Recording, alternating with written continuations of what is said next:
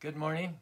It's Monday, June 16th, 7.30 a.m. here in Spanish Fork, Utah, Mountain Daylight Time. Uh, we're starting another round of Bhagavatam classes, still in the first canto. Decided to spend another day on this excellent verse. Srinvatam Shrakata Krishna Punya Sovano Kirtanam Ridantashtu Badani Viduno Di Saritsatam.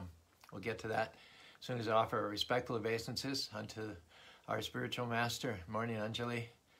Om Aganati Miranda Shangana Gana Salakaya Chaksurun Miritam Yana Tajmai Sri Gurave Namaha.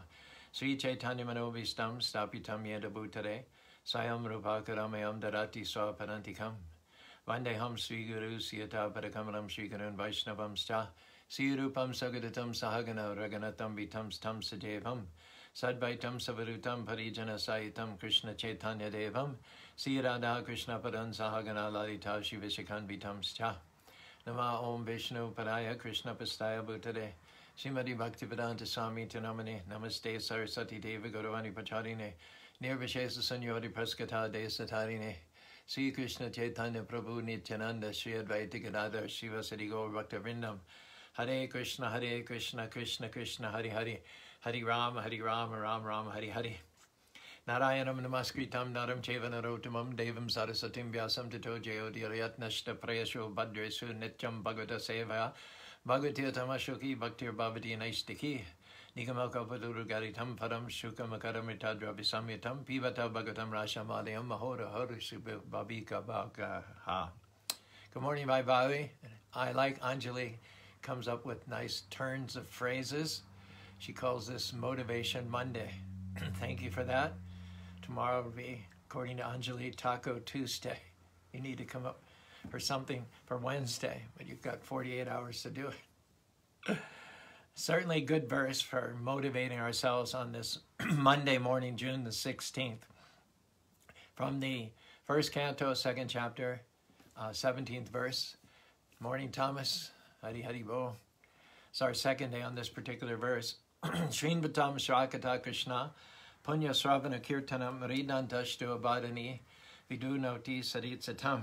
Sri Krishna, the personality of Godhead, who is the Paramatma, super soul in everyone's heart, and the benefactor of the truthful devotee, cleanses desire for material enjoyment from the heart of the devotee who has developed the urge to hear his messages, which are in themselves virtuous when properly heard and chanted. Purport. One cannot enter into the kingdom of God unless one is perfectly cleared of all sins. The material sins are products of our desires to lord it over material nature. It is very difficult to get rid of such desires. Women and wealth are very difficult problems for the devotee making progress on the devotional path back to home, back to Godhead. Many stalwarts in the devotional line fell victim to these allurements and thus retreated from the path of liberation. But when one is helped by the Lord Himself, the whole process becomes as easy as anything by the divine grace of the Lord. Last week we talked about the famous cleansing of the Gundicha temple by Lord Chaitanya Mahaprabhu. And interestingly enough, after cleaning the inside of the temple, which represents the inside of our hearts, not once but twice, Lord Chaitanya Mahaprabhu cleaned the outside of the temple very thoroughly also. And his meaning behind that was that sometimes we embark upon the devotional path, and after advancing to some degree, then we again get allured by material inducements, thinking that we need money or fame or leverage in order to support better the Krishna consciousness movement, when in fact, all we really need to do is save ourselves first, and then we can save others. Jivasya tattva jignasha, human form of life is meant for inquiry into the absolute truth. Other than that, all we need is just subsistence. Jivasya, we just need to keep body and soul together. And especially after having embarked on the devotional path, then not to go back out again for earning money and raising a family. One rule of thumb that Prabhupada often used was if a college student would come to him uh, proposing that he become an active devotee. Prabhupada would say, are you at the beginning of your college four years or at, you, at the end? If, the, if he said, I'm at the end, I've only got a year to go, then Prabhupada would say, finish. You've invested so much, just finish it up. But if they said, I'm just beginning, he'd say, forget it. yes, come tomorrow, move into the temple. Better you spend those four years becoming an expert preacher in Krishna consciousness than going to the slaughterhouse of university education. And elsewhere, Prabhupada says, if you learn the Bhagavatam in and out, you learn the Bhagavatam thoroughly, it's a complete education. If you know the Bhagavatam, you can talk to any big Nobel laureate, any PhD, any scientist, any teacher, any philosophy, any preacher, any world leader, and you'll not be bested. You'll come out on top. And so um, it's Lord, it's significant that Lord Chaitanya went outside the Gundicha temple and cleaned it as a caution that all you really need is the name of Krishna, prasadam, and service to do, and the Srimad Bhagavatam to discuss amongst devotees, as we do every Monday, Tuesday, and Wednesday morning at 7.30 a.m. Otherwise, uh, how does one get allured first, second, third time into sense gratification? Very clearly explained here in the 62nd verse of the second chapter of the Bhagavad Gita. Dayato Vishayam Pumsam Sangat Teshu Vijayate Sangat Sanjayate Kama Krama Kroda Vijayate. We begin contemplating the objects of the senses. And these objects of the senses, to the degree that we pursue temporary things rather than the eternal connection with the Supreme Personality of Godhead, they're described as poisonous. Vishayan so as we contemplate the objects of the senses, subtly uh, we develop an attachment for them. Sangat teshu. Sanjat sanjayate kamam. And that mild passing attachment we like to date him or date her. I wonder what it would be like to have that position, to be a manager in that company. I wonder what it would be like to live in that kind of a house, or wonder what it would be like to drive in that car with all the sizzle factor. So that passing infatuation thickens and becomes an absolute necessity. From just thinking it would be nice, one transitions into saying, I've got to have that car, I've got to live in that house, got to have that management position. I've got to date that girl. While contemplating just passingly the object of the senses, the person develops attachment for them. And from such attachment, kama, lust, raises its angry head. Kame connection. Yeah, okay, now we're on the Wi Fi connection, so it'll be a much more steady connection. Remember, for 10 long years, the Greeks attacked frontally the tall, impregnable walls of Troy. They weren't able to make a dent in it. And finally, it was only after they pretended to sail away, they got in their ships and sailed away and left a horse, a Trojan horse, for the Greeks as a sign of capitulation, supposedly. The Greeks, the Trojans, took the horse into the city and little be known to them, in the belly of the hollowed out horse were soldiers. So at night, with the horse inside the gates of the city and all the Trojans asleep, a very elite cadre of Greeks uh, uh got down through a trapdoor from the horse and they opened the gates. Meanwhile, the ships had returned in the dark of night. And because of that betrayal from the inside, the, the city, which was otherwise impregnable, fell to the conquering Greeks. It was sacked and destroyed. Similarly, lust, mahasano mahapapmam, vidyanam yavadanam. Lust sits inside of us within the senses. And so when we get attracted externally, what happens is that external attraction ignites the sedentary lust from within us. And once that lust ignites, it's no longer a passing attraction. It's no longer an infatuation. It's no longer a take it or leave it situation. I've got to have that object of my senses. And from that point, there's only one outcome anger. Either you get it, become disappointed, which results in anger. You don't get it, that results in anger. Or you get it and someone takes it away. Guess what? It also results in anger. And yet, all this has to do with something, some sense object, which in itself is no more than a phantasmagoria. Family, friends, love, domiciles, transportation, prestige, it seems quite real, quite tangible. And yet, as if awakening from a dreaming state, when we transition from this body to our next state of consciousness, we will totally forget about family, friends, and love in this lifetime. Uh, it will not be of any significance whatsoever. If, even if we remember it, it will be so remote and so distant uh, and so not relative that, in fact, it was nothing more than a dream. Everybody experiences when you're sleeping at night. On one level, you're in your bed in Spanish Fork. But once you start dreaming any sort of a plot with characters and family members and uh, enemies and friends, it all spins out in your mind. It's so real that you totally forget your daytime identity. You totally forget that you're sleeping in your bed in Spanish Fork, Utah, and you identify 100% with all those characters in the dream. Yet when you wake up the next morning, it's all forgotten. It all recedes into significance. And in the dream, you might have you lived in a palace. You might have had a beautiful wife. You might have had incredible transportation, a big position. But what have you got now once you wake up? You've got nothing. You've actually got nothing. All that has ceased to exist. So similarly, just as during the nighttime dream, it seems so real, and yet when we wake up during the day, it has ceased to exist. It has receded into oblivion. Similarly, during our daytime dream, whether it be American or Caucasian or European or Brazilian, whether it be a sweet streeper, whether it be the prime minister, whether it be single or married, whether it be labor or management, it's a dream. It's a dream.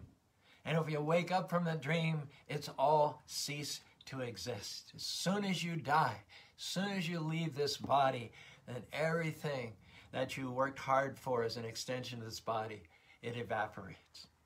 And nothing is left to show for it. This is due to what we call the gunas. Gunas means ropes. And there are three ropes, there are three shackles which keep us in this material world. Originally, from the spiritual world, we get thrown. That's the first action of illusion. And then having got thrown into this material world, because don't forget, we're not material, we're spiritual beings, parts and parcels of God. But some or other, due to contemplation of the objects of the senses, we were lured into the material world, or we allowed ourselves to be lured in the material world. And then when we got here, we got covered. So there's those two actions, the throwing action and the covering action. The covering function is given over to the three gunas, the three chains of material nature, goodness, passion, and ignorance. So under the influence of the modes of goodness, passion, and ignorance, we revolve in the cycle of birth, death, disease, and old age in this material world. Therefore, Krishna says in the Bhagavad Gita, 14th chapter, 20th verse, Gunamatan atitya trin, dehi deha shamud bhavaha. Due to attachment to the three modes of material nature, we become embodied, and as such, we suffer the pangs of janma mritu jara vyadir, birth, death, disease, and old age. And until we get free from the influence of goodness, passion, and ignorance, vimuktam mritam ashnute, we're not going to taste the nectar of immortality. We have to clean out, particularly the two lower modes of passion and ignorance, before we can begin to be revive our original spiritual consciousness. Exact translation of that verse when the embodied being is able to transcend these three modes associated with the material body, he can become free from birth, death, old age, and their distresses, and can enjoy nectar even in this life. One should elevate oneself to the mode of goodness, peacefulness, nonviolence, compassion, sensitivity, that love which enjoys deep, intimate, sensitive, considerate relationships, as well as awakening one's love of and awareness of the Creator, our loving Father. And then from the material mode of goodness, one can then elevate to the spiritual mode of goodness called Vishuddha Sattva. So one who is in pure goodness as opposed to material goodness is described in the following way. Brahma Bhuta Parshanatma. Coming to the level of spirit, detaching from the object of the material senses, one feels Parshan Atma, deep, unbudgeable, unshakable satisfaction. Just like it is said, Apuryamanam achalat pratishtam, like an ocean, a vast reservoir of water. No matter how many rivers flow into that ocean or that big lake from doesn't matter how many directions because of the depth of that body of water none of those rivers can disturb it similarly because of the depth of one's self-realization nothing external no material circumstances can disturb it.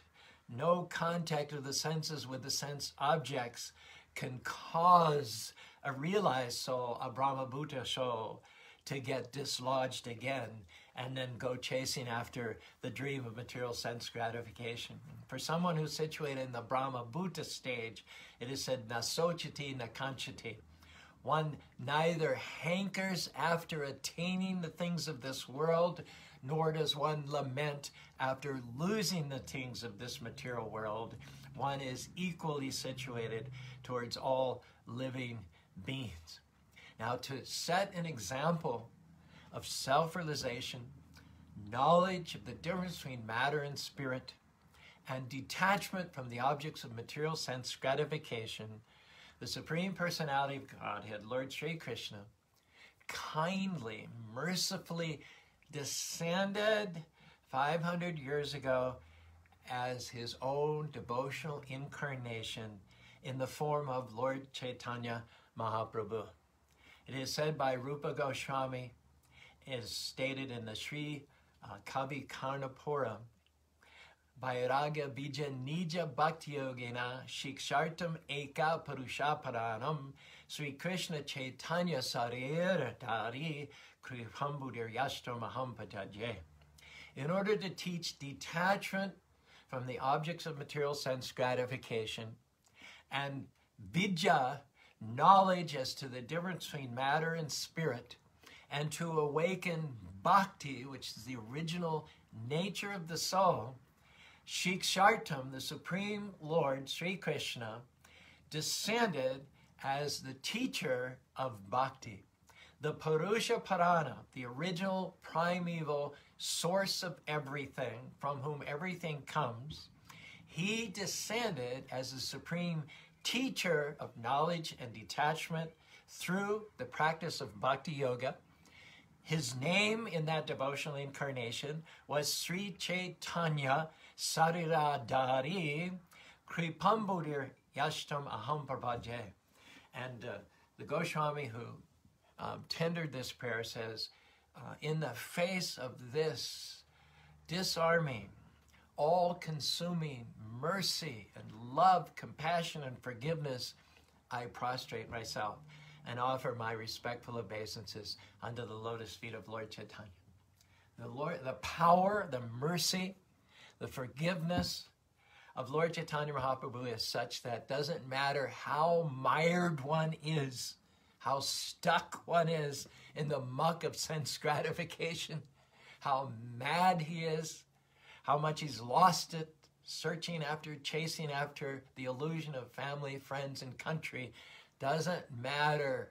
The power of Lord Chaitanya to deliver is greater than our power to remain stuck in this material world. Our example for this morning is that of Maharaj Yayati extremely mired in sense gratification. He met his wife, Devayani. She was the daughter of the guru of the Daityas, named Sukracharya. She had had a maidservant named Sarmista. Sarmista was born from the warrior caste. Devyani had been born from the Brahminical caste. So one day they were out in the woods and they started to argue who's better, the kings or the Brahmins. The argument got hotter and hotter and hotter and hotter. And Sarmista, perhaps being the daughter of a king and a warrior and possibly being a little more physically strong than Devyani, ended up tossing Devyani in a well and then walking off. Devyani's in the bottom of a help, help. King Yayati happened to come along and he saved her from the well. He said, now you're free to go back to your palace. And she said, no, you've saved my life, so please marry me. He said, I'm a warrior, you're a Brahmin. Brahmins are higher caste. Anyway, it was arranged that Maharaj Yayati marry Devyani. And the marriage was okay. I mean, they were happy. There were two sons born of Devyani. But apparently Yayati's senses were not under control because, unknown to his wife Devyani, he had an affair with her arch enemy, maidservant Sarmista, silently. And as a result of his multiple unions, secretive unions with Sarmista, there were three sons born. And he was a king with vast properties. And so he kept those three boys in a remote part of the gardens, of the grounds of the palace. They had their own domicile, their own residence, they had their own gardens, they had their own place to play. One day, Yayati was walking through the gardens with Devyani, who again had two sons by her husband.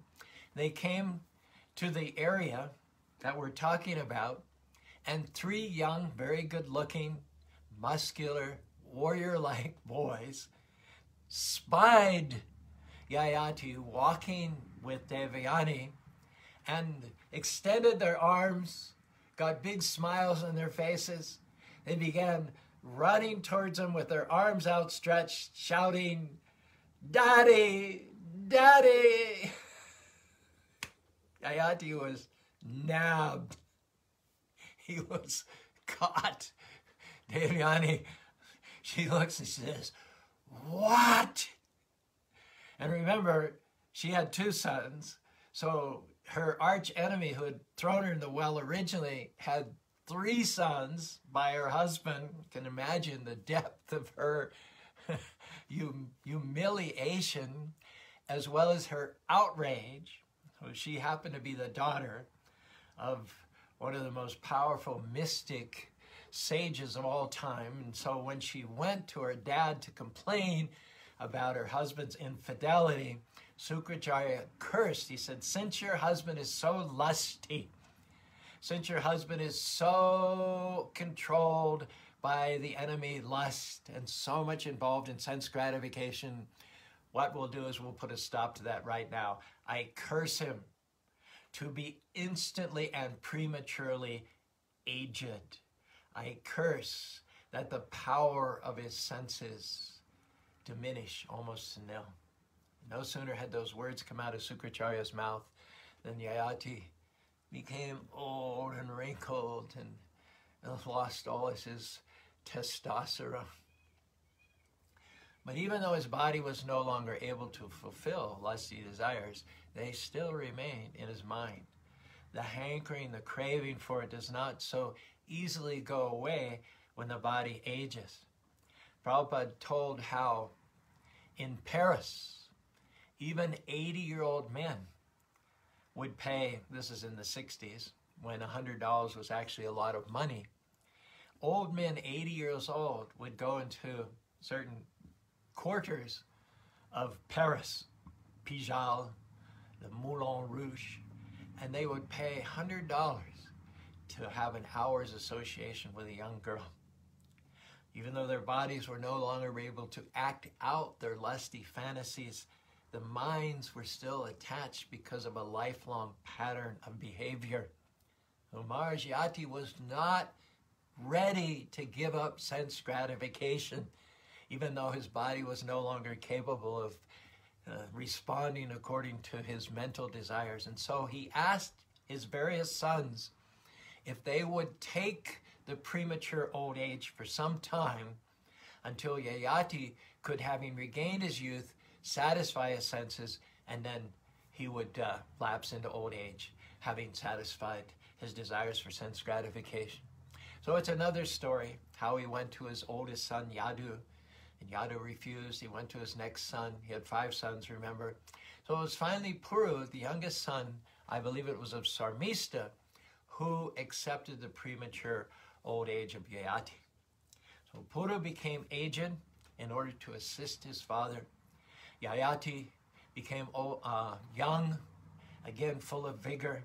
He was again, and Devayani, to be truth be told, she was she was happy because as soon as her father cursed her son to be old, she said, "Well, what about me? I'm young too, and I I still have desires." So she was just as happy as Yayati that there was some resolution to the problem. and anyway, in those days, kings could have multiple lives. There was license for kings to pursue sense gratification. However, after 1,000 additional years, in which basically it was a go, basically he had a green light to do, drink, taste, enjoy the company of opposite sex to any degree he wanted, he came to the realization that there is no point at which you're ever going to be satisfied by material sense gratification. This is what he said. Purnam Vasha Sahasra Me Vishayan Sevato Sakrit Tatapi Chanu Shavanam Trishnu Teshu Pajayate. He said, I've spent a full 1,000 years enjoying sense gratification, yet my desires to enjoy such pleasure increases daily. If you're under the illusion that at some point you can walk away from sense gratification, here's some, a very sobering statement from someone who enjoyed to the full extent as a king in ancient times. After a thousand years, his desires were not less, but even after a thousand years, they were increasing daily. Just like if you pour gasoline on the fire, liquids, generally speaking, will extinguish a fire. However, if you mistake gasoline for water, and instead of pouring water on the fire, you pour gasoline on the fire, the result will not be that the fire is extinguished, but that the fire will blaze up higher. So pursuing sense gratification and hoping at the same time to extinguish material desires is going to be just about as successful as trying to put out a fire by pouring gasoline on it. So it was not because Puru had satisfied his desires as he had originally intended, but it was rather the opposite because he realized that the desires are getting more and more vehement all the time. That he finally went back to his son Puru and he said, Please give me now the decrepitude. Thank you so much for having done this for me. You will be the king, and your descendants will be the king forever after. Um, and now I give you your youth back. At that point, Maharaj gave up all pursuit of material sense gratification. Then he sublimated his senses into the sublime, elevating, purifying service of the Lord. Now he used his hands to worship the Lord, his mouth to chant the holy names of the Lord, his eyes to see the image of the Lord, his ears to hear about the glories of the Lord. And he did this in exile, in retirement, in a forest ashram. The time came sooner than you'd think. By the mercy of Lord Chaitanya and the devotees, and by the power of the holy name, it did not take as long as you would expect for Maharaj uh, Yayati to turn his back on sense gratification once and for all and to merge himself in loving devotional service of Krishna. there is this stunning, very evocative verse which ends the happy story of Maharaj Yayati. Asevitam Vaishapagam Sadbargam Vishayashu Sa Sanayam Uchatanidam Jata Paksha Iba Nidaha. The example is given that Maharaj Yayati reached a point of spiritual maturity. Never again looked back or hankered for the illusory affairs of material sense gratification. And the example here is extremely visual of a little tiny baby. His wings are not yet formed. So he stands on the edge of the nest, but he's not going to jump because he knows if he jumps, he'll fall like a rock. So he stands, his wings grow a little bit. Another day, stands, his wings grow a little bit. A week comes by, he feels his wings lengthening, strengthening, and finally the day comes when he intuits that if he jumps, his wings are fully enough developed that he will fly and soar and elevate himself to the next level. Maharaj Yayati, after returning the decrepitude, the, his youth to his son, reached full spiritual maturity by practicing devotional service for a short time in the woods. Why is it that this uh, spirituality, this freedom from bondage, from the ropes that keep us chained to birth, death, disease, and old age, why is it that that freedom, after who knows how many hundreds, if not thousands of previous incarnations, flat out pursuing sense gratification, why is it that one can so quickly and easily get free from that and go back to home, back to Godhead? It is simply because that's our true nature. It is our true nature, Nitya Siddha Krishna Prema Sadhukarinai.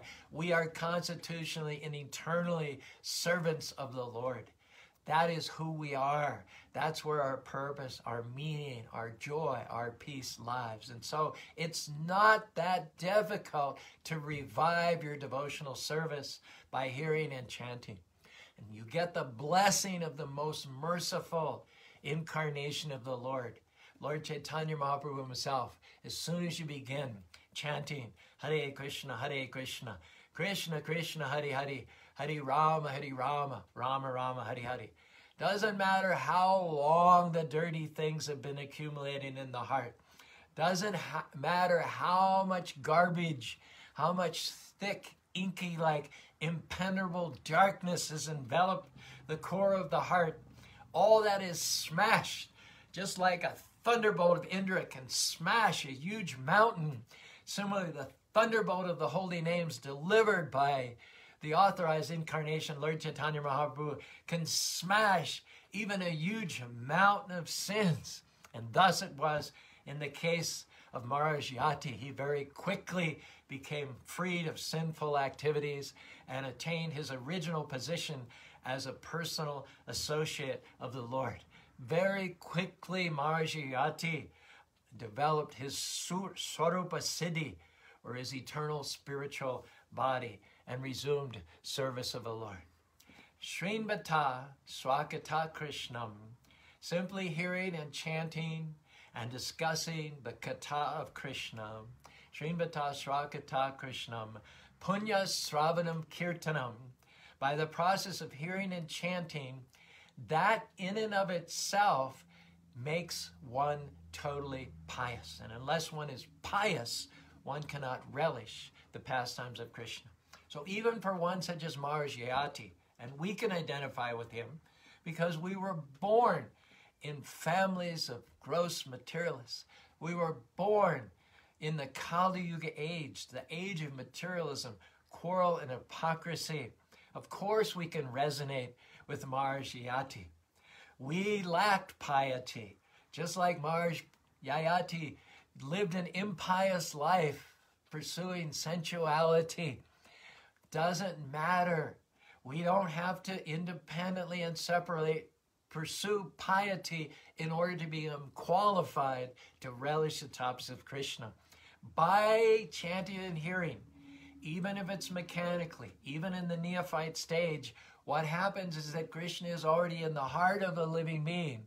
Yomam pasati sarvata saram chamai pasati tashahamna pranasati sachan mena pranasati. Krishna awakens from within the heart of the practicing chanter, the practicing devotee, and Krishna delivers you. UPS, FedEx, USPS, flat rate, priority mail from within the heart, he delivers you piety. Tu. It is said that unless one is completely pious in this life, not only that, but has a background of piety for any number of previous lives, one cannot relish the pastimes of Krishna. We don't have a background of piety. We weren't pious even earlier in this life. We weren't pious in our last lives. So how is it then that one comes very quickly to relish Krishna Katha? Because Krishna and Lord Chaitanya Mahaprabhu, from within the very heart of the devotee, banish all darkness, all garbage, clean it all up, and deliver that piety which is normally only achieved after many, many lifetimes.